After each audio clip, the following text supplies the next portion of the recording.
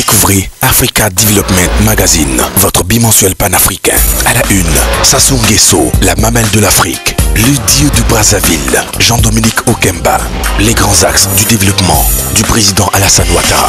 Pour l'amour de l'humanitaire, la saga des présidents héritiers et bien plus. RFO Line, plus 225 56 10 32 80. par Africa Development Magazine, exclusivement disponible dans vos kiosques à Abidjan et à Paris.